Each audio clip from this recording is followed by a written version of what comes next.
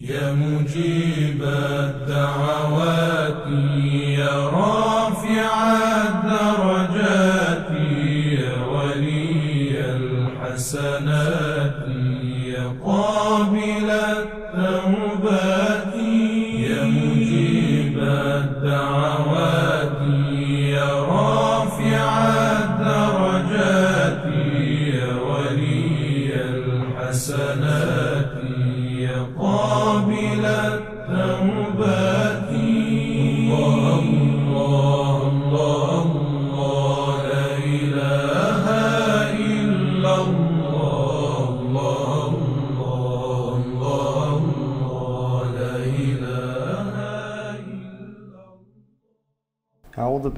Шайтан раджим, бисмиллахи рахман рахим. Ассаламу алейкум, уважаемые братья и сестры. Рады приветствовать вас на нашем телеканале Хадис ТВ3, на нашей передаче, которая посвящена одно- этому священному месяцу, месяцу Рамазан. И специально по этому поводу мы сегодня в нашу студию пригласили уважаемого Худжатуль Ислама Валь Муслимина шейха Гурбана. Ассаламу алейкум, шейх Гурбан. Алейкум ассалам рахматуллах. А вот э, шейх Курбан, на прошлых передачах мы обсудили немаловажные э, вопросы, как достичь э, очищения, и также мы сказали, что посредством э, Ахлибейта и их руководства можно достичь этого очи- очищения. Также мы поговорили немного о халифах, мы сказали, кто они, также мы сказали, что они имеют прямую связь с Аллахом, и также они только знают, что Аллах, чего хочет Аллах от нас на самом деле, и дабы, дости- дабы достичь совершенства. И вот хотелось бы продолжить э, а, нашу, наш разговор на данную тему. Прошу вас. أعوذ بالله من الشيطان الرجيم بسم الله الرحمن الرحيم وبه نستعين وهو خير ناصر ومؤين والصلاة والسلام على سيد الأنبياء والمرسلين وعلى آله الطيبين الطاهرين المعصومين ولعنة الدائمة على آدائهم أجمعين إلى قيام يوم الدين Я прежде всего приветствую дорогих телезрителей Хади ТВ3. Мы говорили о том, что этот месяц, этот священный месяц, этот величайший месяц, это величайшая возможность, данная человечеству Богом, а именно шах, шахр Рамадан, месяц Рамадан, а, является месяцем очищения, шахр Тухур является, является месяцем, где человек имеет невероятные возможности для очищения. Очищения от всего, от многобожия в ее разновидностях. Большое многобожие, малое многобожие, большой ширк, малый ширк. И опять-таки подчеркну, малый ширк, мы это говорили ранее, но я подчеркну, что малый ширк, оно не вводит ислама. Мы, конечно, как нечто духовное, как не- некий духовный недостаток порицаем. Но этот малый ширк не служит причиной того, что человек э, становится неверным, человек прекращает быть мусульманином. И даже более того, прекращает быть верующим. Потому что малый ширк это а, скрытый ширк, ширк, который не каждый человек способен осознать, не каждый человек способен уловить. И для понимания того, что является малым ширком, дабы остерегаться этого, человек должен достигать определенных духовных уровней, духовных степеней. И, это, и понимание этого является, конечно же, достоинством. Но непонимание является духовным недостатком. Духовным недостатком. И поэтому мы не порицаем малый ширк как нечто выводящее из ислама. Мы порицаем как некие духовные недостатки. Как, например, а, определ- у человека имеются определенные слабости. Слабости имеются вредные привычки, и малый ширк является чем-то подобным, каким-то духовным недостатком. И очищение э, месяц Рамадан является возможностью очиститься, очиститься от обоих видов этого ширка, от грехов. Грех тоже является скверной, является э, нечистью. Есть предание, довольно-таки известное предание, а, наверняка многие из э, телезрителей слышали а, часть этого предания. В этом предании говорится, что а, очень, очень интересное предание по нескольким причинам. В этом предании говорится о том, что а, Всевышний поручил двум ангелам записывать хорошие и плохие поступки человека. То есть, когда человек совершает плохие поступки, один из ангелов записывает, а когда человек совершает хорошие поступки, то второй ангел записывает его деяния. Но здесь есть очень интересный, э, интересный момент, который заключается в том, что Всевышний поручил, обратите внимание, Всевышний поручил ангелу, который записывает хорошие деяния, записывать также, в книге деяния записывать также и хорошие намерения, обратите внимание. Но ангелу, который записывает плохие поступки человека, этого не приказывал, этого не поручал, записывать плохие намерения. И поэтому даже хорошие намерения, хорошие намерения человека, они записываются в книге его деяний. И поэтому, если имеется человек, который всей душой по-настоящему не наигранно, не наигранно, а по-настоящему, например, хочет совершать какое-то хорошее деяние, но по тем или иным причинам не может, не хватает сил, нет возможностей и так далее. Например, хочет э, совершать ночную молитву, которая имеет величайшую награду перед Всевышним, велич, величайшее достоинство перед Всевышним. Человек, если хочет по-настоящему, искренне этого желает, но не может, не может проснуться, не может отдалить себя, не хватает ему воли для этого, например, то вне всякого сомнения э, ангел. Ангел, который записывает благие поступки, записывает эти намерения как само деяние. То есть если человек желает всей душой, всем сердцем желает совершать ночные молитвы, то это желание записывается как совершенные. Обратите, не как намерения они записываются, а записываются как совершенные ночные, ночные молитвы. То есть, опять-таки, подчеркну, это очень важно. К сожалению, при прослушивании, при просмотре люди этот момент упускают. А, речь идет о настоящем, об истинном желании, об истинном намерении, а не наигранном намерении. Когда человек... А чем они отличаются? Ну, внушает. Иногда человек может внушить себе, что вот давай я захочу вот это сделать. Да, чтобы заработать, например, какой-то... А на самом деле не хочет, нет у него желания. То, То есть, есть он... по зову сердца, чтобы было. Да, конечно. То есть это разные вещи.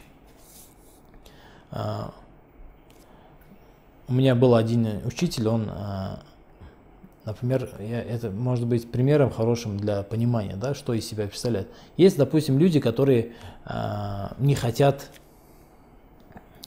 не хотят, то есть они хотят иметь, не совершать какие-то порицаемые поступки, чтобы получить за это награду, да.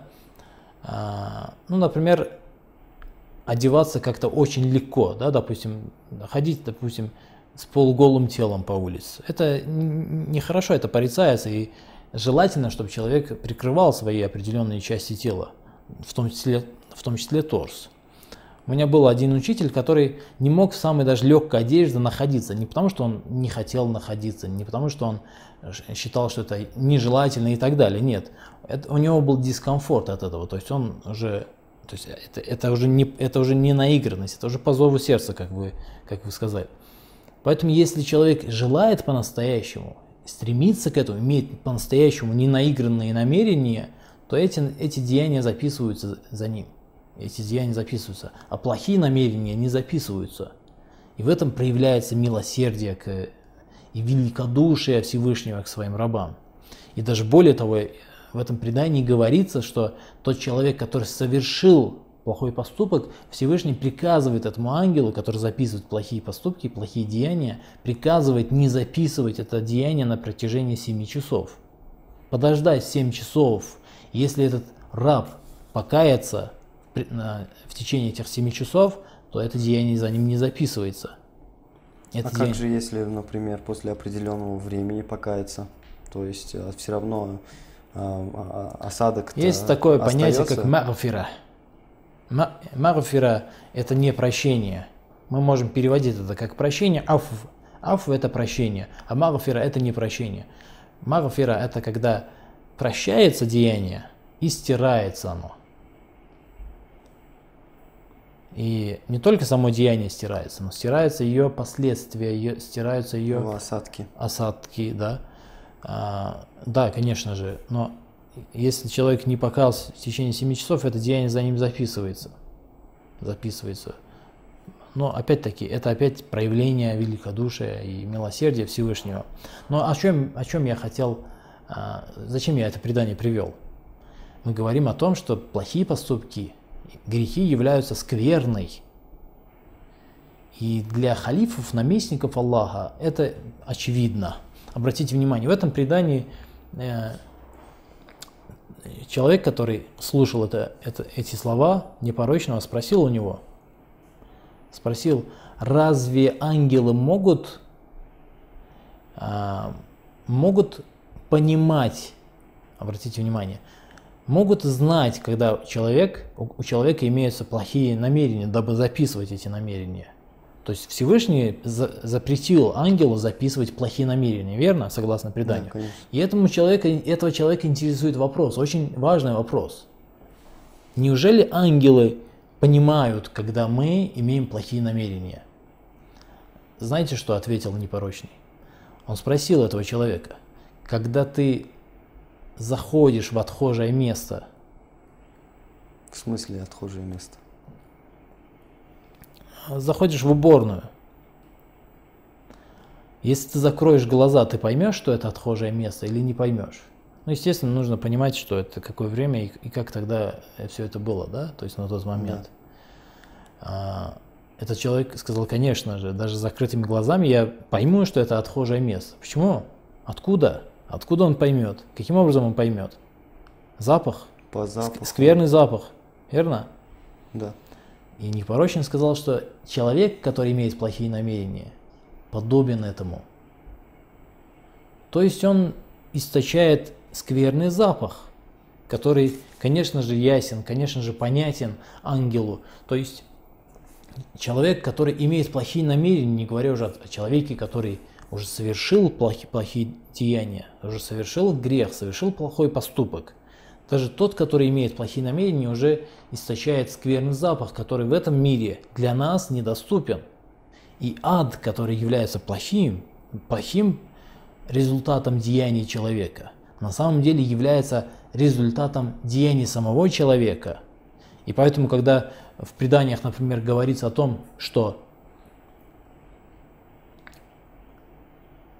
сквернословие за спиной у своего ве- верующего брата является поеданием мертвечины, это в преданиях имеется, то есть сравнивается э, сквернословие с Поедание Кейбе, мертвеч- да. Кейбе сравнивается с поедян, поедянием мертвечины. То есть сплетничество, как бы.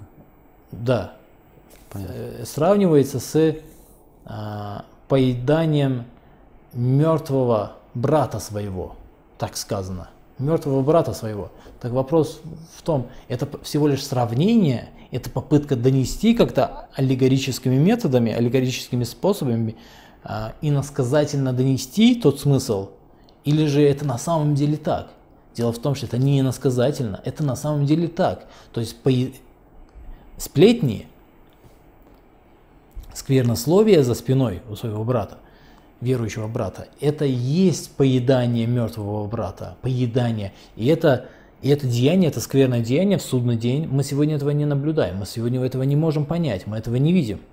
Есть определенные преграды для того, чтобы мы а, могли созерцать последствия своих деяний. Но в судный день эта преграда будет э, уничтожена, эта преграда уже не будет существовать. Поэтому мы увидим, что на самом деле он поедал своего мертвого брата. И на самом деле все те деяния, все те намерения, которые были, все те деяния, которые были, они пропитали человека скверной, скверным запахом нас- по-настоящему.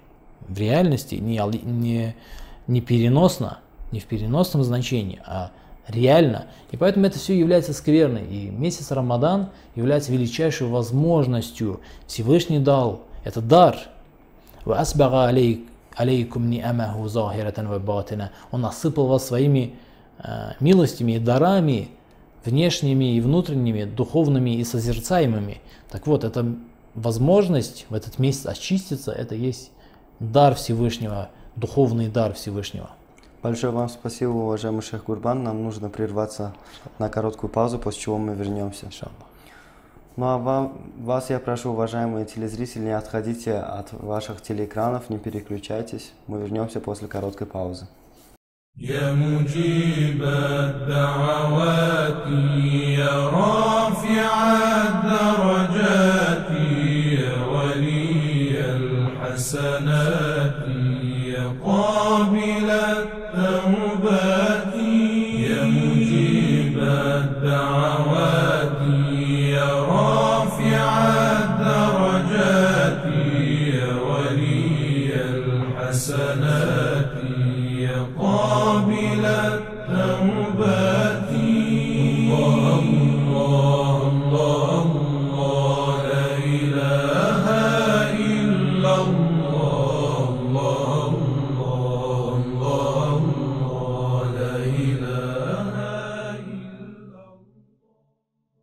Ассаляму алейкум, уважаемые братья и сестры. Напоминаю, что у нас сегодня в гостях э, уважаемый Худжатуль Ислам Валь Муслимин Шейх Курбан. И Шейх Курбан до паузы нам рассказал про хадис, который, э, м, кото- про который говорили э, непорочные, в котором говорится, что Бог специально, как бы сказать, назначил двух ангелов, чтобы они записывали хорошие действия, так и плохие действия. Также мы сказали, что э, Бог поручил э, тому ангелу, кто записывает хорошие действия, также записывать даже хорошие намерен- намерения, даже если человек не совершил этого действия, например. А также э, Бог запретил ангелу, который записывает плохие намерения, плохие действия, записывать плохие намерения. И также мы указали на то, что э, месяц Рамазан является очень, очень великой и очень хорошей возможностью для нас, чтобы очиститься в этот э, великий месяц. И хотелось бы продолжить наш разговор на данную тему. Да, совершенно верно. Месяц Рамадан является, как указано, как сказано об этом неоднократно и множество раз, месяцем очищения. И нужно, конечно же, пользоваться этим и не упускать этой возможности из рук. А, И, как также мы ранее сказали, есть два важнейших средства для этого очищения. Они являются первыми шагами. То есть, на самом деле, когда мы говорим два средства, мы не- хотим сказать, что нужно только это делать и все оставлять. Нет, мы говорим, что это как омовение. Мы, мы не просто так приводили омовение. Это условие всех остальных деяний. Любовь к Ахляльбейт и приверженность Корану. Любовь к Корану, стремление к Корану и руководство Кораном так же как и руководство Ахляльбейт, это все является условием всех остальных деяний.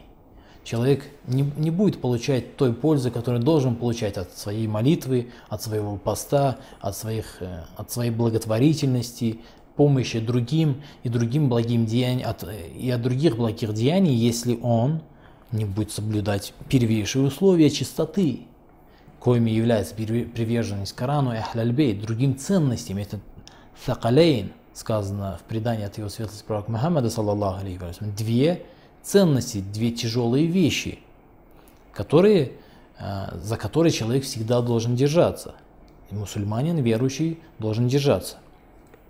Это, это необходимо понимать, это необходимо иметь в виду, что э, месяц чистоты является Рамадан. Помимо этого, э, конечно же, мы неоднократно указывали на это, подчеркивали это. Этот месяц является э, шахруль магфира. Даже э, в, это, в, том же, э, в той же проповеди его светлость пророка Мухаммада, саллаллаху алейхи ва салям, который он произнес месяц Шабан, его светлость сказал, направляется к вам месяц Рамадан с магфира ва рахма.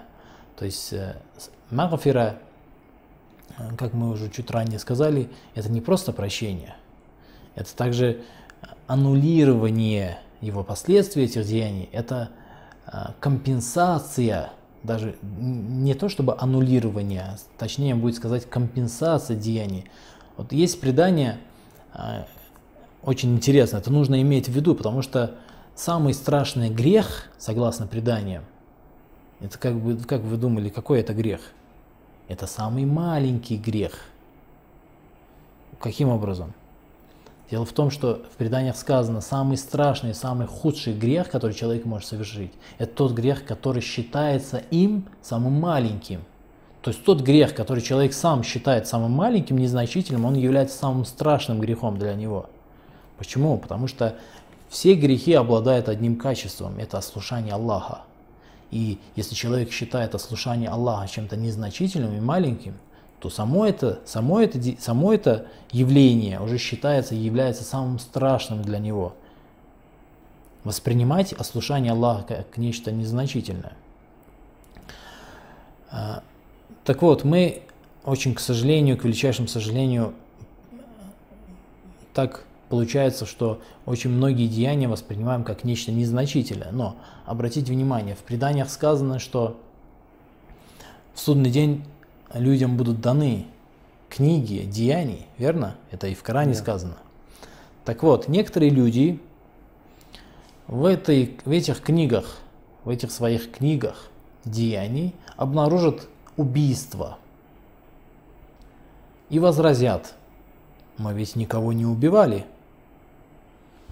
Почему же здесь в наших в книгах наших деяний записано убийство? Мы ведь никого не убивали. Да, мы совершали эти грехи, мы совершали те грехи.